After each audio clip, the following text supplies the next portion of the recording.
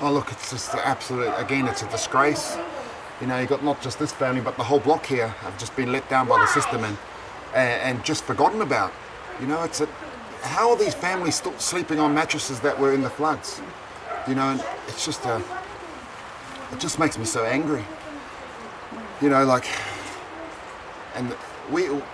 I mean, thank God for us and our and our supporters that we were able to come in here and fit this whole, you know, beds from Comfy and, you know, it, you know, we're going to fit their whole house out. Thank we got a donation from Binance, so that's but that's not going to go that far when you're having to fill out all the, you know, fit out houses.